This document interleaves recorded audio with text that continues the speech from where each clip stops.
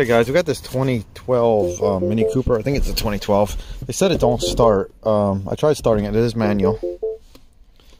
Um, when I scanned it, we had this code present: high pressure fuel, high pressure fuel system plausibility, cold start pressure too low. So let's go back.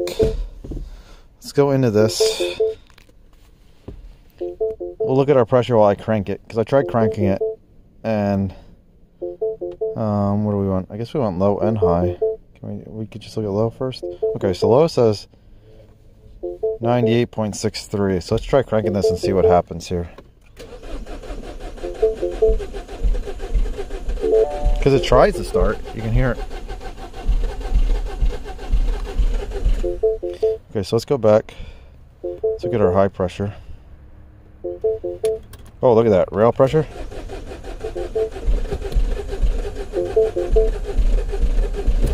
So we're never going to get it to start with 21 psi. Hmm. That's making me wonder if our low pressure is reading right.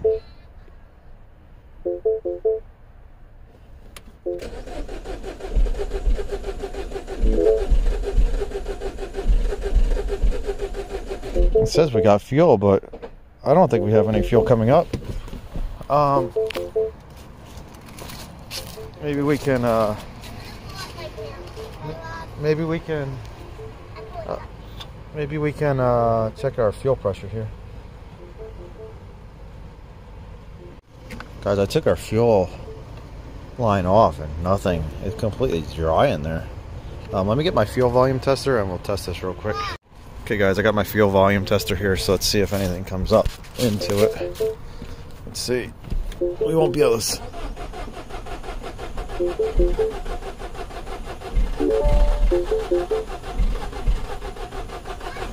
Let's see. Yeah. We got nothing, guys. There's nothing in there. Um, let's see, can we set this out facing outside the hood? See if I can rearrange this. I might have made it colder. I might have. Let me set this outside the hood without scratching anything. There we go. Now we might be able to see something. Um, might be able to put you guys on this. See if anything comes up.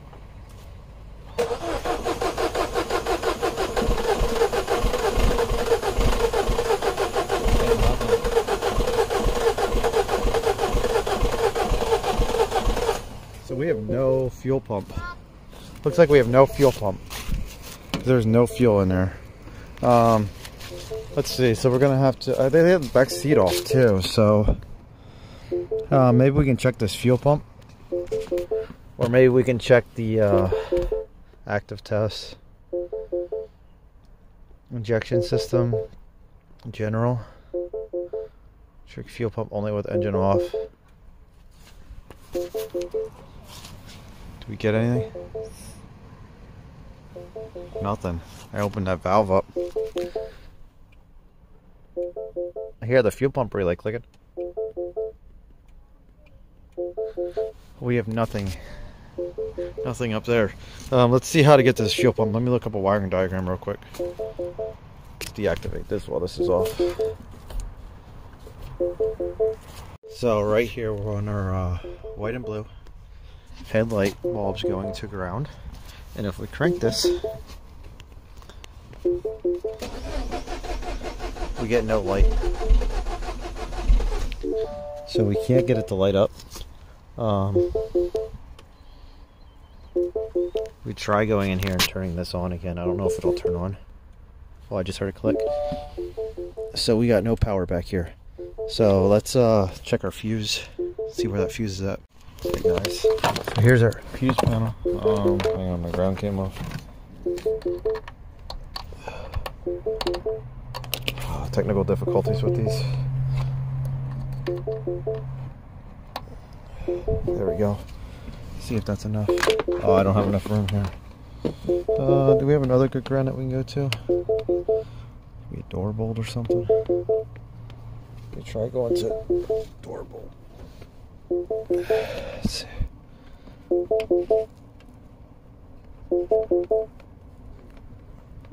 Hopefully that's enough. Let's see, 46. So 46 has power. So we're just not getting power. 46 says fuel pump. So we're not getting power through our relay. We need to figure out where that relay's at. Now, because we got ground going to the door jamb. Yeah. But we don't have ground on our door striker. Okay guys, so I found an ALLDATA. Mitchell didn't have this. X4013. This is our connector right here. This should be our... Is this on the back side? Where's this at? This says it's underneath the hood. Um, but our other one... That doesn't seem right. Because if we go into ProDemand... It says... Oh, I looked at the wrong one. We want X11. Seven, No, not that at Maddox. It's X11010. eight, nine, ten.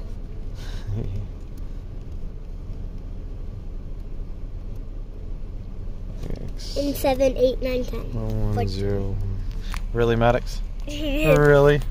Really? Are you helping today? Uh, are you helping? no, Or are you just eating all the donuts? Ready all at the dance. dance. It's one one zero one zero. Okay, Maddox.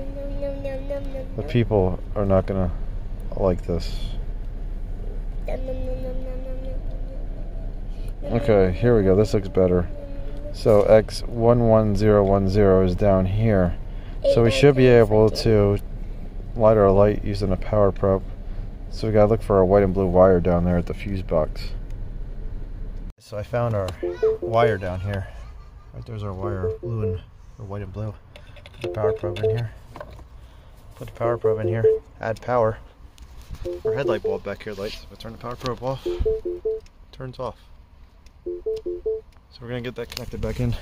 Okay guys, so we'll add this on here. We'll listen to see if our see if our pump turns on. I heard it. You hear it?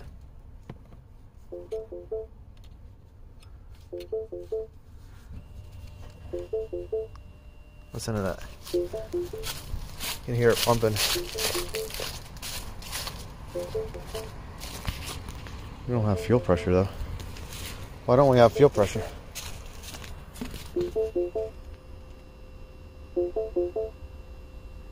That's weird. We're pumping, but no fuel pressure.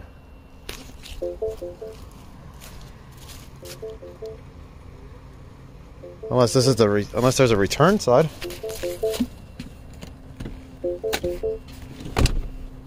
Let's see.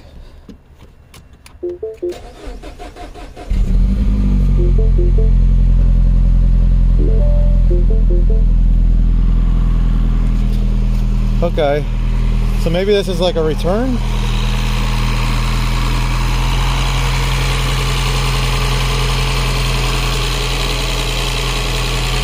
Oh, that's a vacuum line.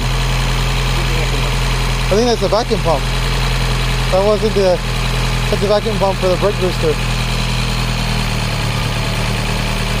What is? This. I was on the wrong line. That's why.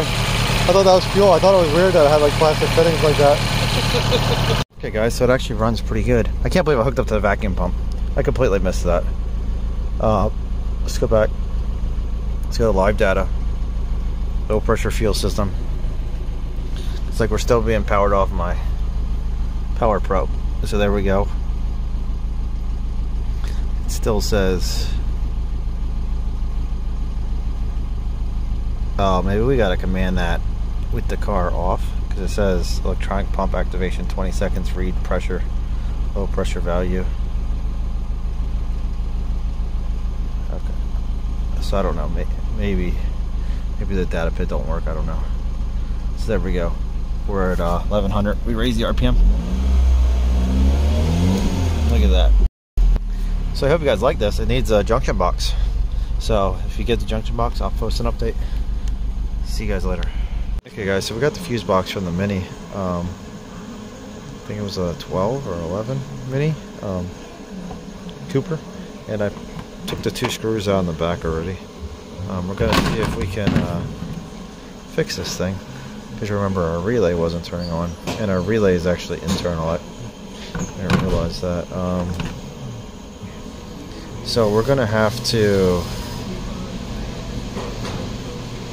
I didn't see any broken solder joints here, so we're going to um, cut all these solder points and all these pins like we did on the other video. I don't know if I released it yet or not. And we're going to check to see if any of the solder joints cracked underneath on the board. Okay guys, so um, I uh, I desoldered, well I didn't desolder, I cut all the pins like I did on my last one because I tried to removing these even with like big hot tweezers at like 900 degrees. It's just not enough to melt it, I mean to remove it so um, there's our relay. I know most of the time you can just resolder these so that's what I'm going to do. Um, I don't have another relay for it but you can see the joint is broke right there.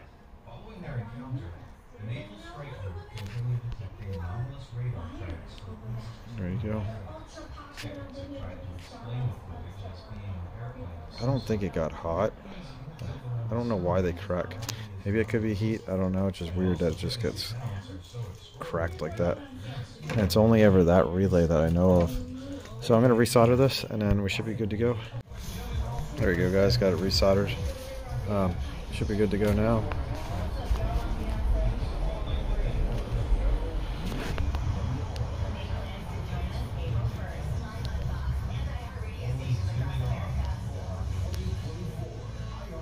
I think that's flux in there.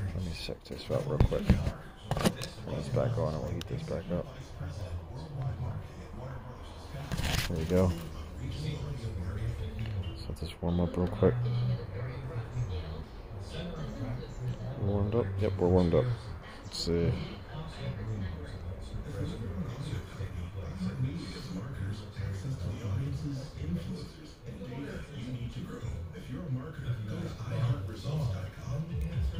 Yeah, I think we're good to go. Look at that. There we go.